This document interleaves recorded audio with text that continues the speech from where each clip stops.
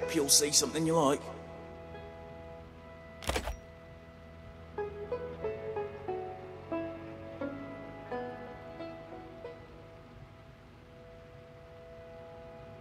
Ah, I think I need to sit down.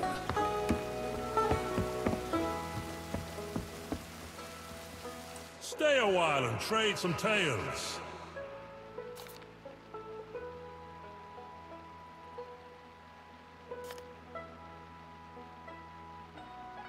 Oh.